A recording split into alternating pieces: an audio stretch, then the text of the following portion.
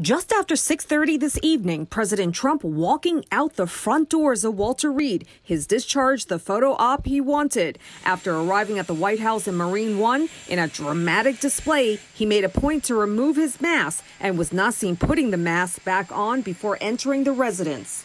Though he may not entirely be out of the woods yet, the team and I agree that all our evaluations, and most importantly, his clinical status, support the president's safe return home. But the president's medical team, led by Dr. Sean Conley, said little else. For days now, Conley has been criticized for unanswered questions, such as when the president last tested negative, if lung scans show damage, and how serious his overall condition is. Dr. John Whyte is chief medical officer of WebMD, and he finds it surprising the president has been given the green light to be transferred to the White House's medical suite, while the president is still undergoing treatment and is contagious contagious. When we're talking about an infectious disease that we're still learning about, that you want to be out and around, potentially exposing other people.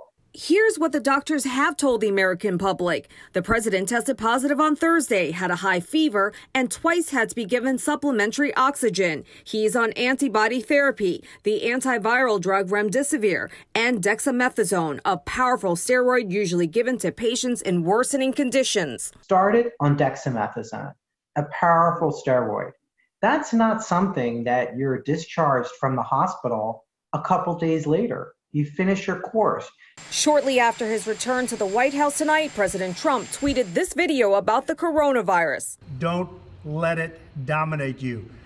Don't be afraid of it. And I am concerned about that type of messaging that seems like, you know, it's not a big deal. Everyone's not going to have access and does not have access to the world class treatment that the president had